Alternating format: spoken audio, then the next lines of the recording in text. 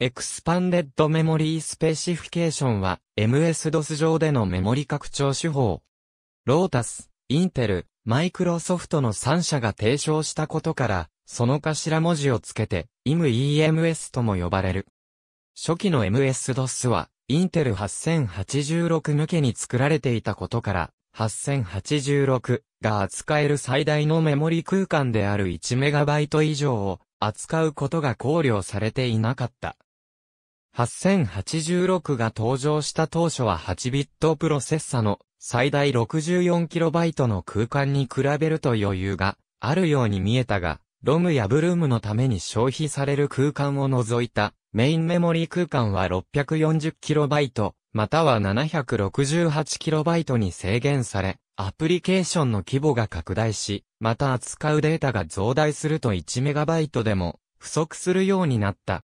やがて 1MB を超えるメモリを扱える上位互換品である8286や8386が登場し、メモリモジュールが安価に手に入る時代に入ったが、リアルモードでどうやって使うかが問題になった。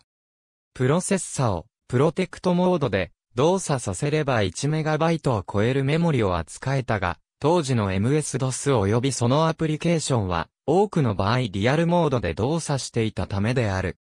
この壁を乗り越えるハード的な実装はいくつかあったが、代表的なのは後に統一規格として制定されたバンク切り替えによるメモリ拡張方式 EMS である。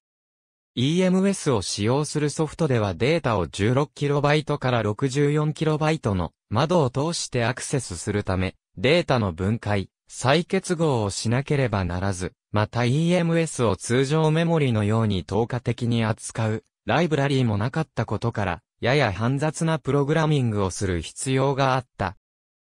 8386からは、仮想86モードを使ったソフトウェア的な EMS の実装が一般的となった。CPU やメモリバスの変遷に伴い、いくつかの実装方式があった。PC-9800 シリーズ用のプロテクトメモリ EMS 切り替えスイッチ付け、メモリボードとメモリマネージャー。収録の EMS マネージャーは、ソフトウェア EMS として IO バンクメモリの利用もできる。バンク切り替え機能を持つ専用メモリカードを拡張バスに接続する。バンク切り替え等の操作はハードウェア的に行われるので高速。また、8086.80186V30 といったアドレスバスが20ビットの CPU でも EMS を使用できる。純粋なハードウェア EMS を8286以降搭載のコンピュータに増設しても、プロテクトメモリとしては使用できないため、どちらも使用したい場合は、二重投資となる。そのため、カード上のスイッチ切り替えにより、拡張バス接続のプロテクトメモリとしても使用できる EMS カードも存在した。8286以降の CPU で使用可能。プロテクトメモリを用いて EMS のエミュレーションを行う。EMS マネージャはバンク切り替え指令を受けると、プロテクトメモリからページフレームにページをコピー、書き戻しする。このオーバーヘッドのため低速である。EMS マネージャを組み込まない場合は、プロテクトメモリはそのまま使用できるので、汎用性がある。一般的に、ソフトウェアエミュレーション方式の EMS といえば、プロテクトメモリを使ったものを指すことが多いが、その他のエミュレーション方式についても併記する。PC-9800 シリーズ用の一部の EMS マネージャは、プロテクトメモリの代わりに IO バンクメモリを利用できた。バンクメモリを利用する場合は 8086V30 でも使用できる。また、プロテクトメモリの代わりに補助記憶装置上のファイルを用いるドライバーもある。メモリの代わりにファイルにアクセスするため、さらに低速であるが、ドライバによっては8086、8088などでも使用できる。HP200LX では、この方法により EMS が使用できる。ページフレームをメインメモリ空間に確保し、ストレージに十分な空き領域があれば、追加ハードウェアは不要である。8386以降の CPU で使用、可能。IA-32 の仮想86モードを用いて EMS を実現する。EMS マネージャは CPU のメモリマッピング機構を用いてページフレームにプロテクトメモリ上のページを出現させる。ソフトウェア EMS 同様の汎用性があり、ページ切り替えも高速。また、汎用拡張バスではなくメモリ専用バス上のメモリを使用可能なために最も高速である。ただし、仮想86モードは、プロテクトモードの1タスクであるため、プロテクトモードを使用した際に発生するのと同等の処理速度の低下がある。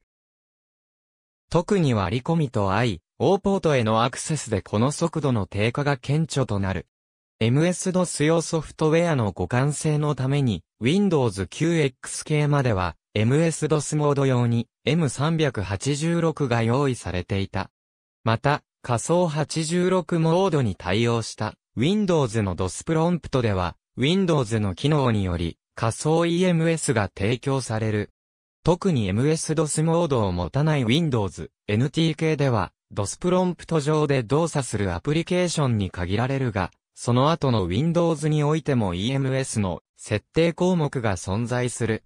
メインメモリを圧迫せずに EMS を使用するためには、その範囲外となる空間にページフレームを設定する必要がある。